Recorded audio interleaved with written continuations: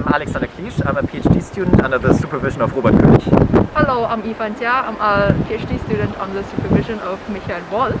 Uh, we're both members of the chair of mathematical physics at Technische Universität München. Today we are going to show you the beautiful building of the Department of Mathematics and Informatics. Uh, and this is where the uh, poster session would have taken place if QIP went along. Let's now go. let's go.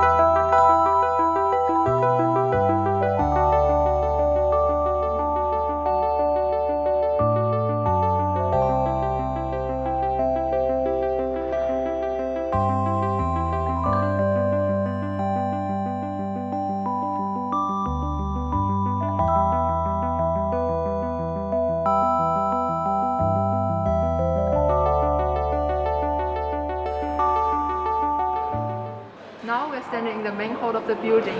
On my left hand side, uh, we have the chairs of informatics, and on my right hand side, you can see the chairs of mathematics.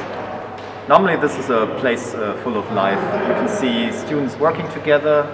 Uh, you can uh, also buy food and, uh, and eat it here. Uh, and uh, you can also just relax between your lectures. The post session would have taken place here. You might wonder right now what these two tubes are for. Uh, we will see later.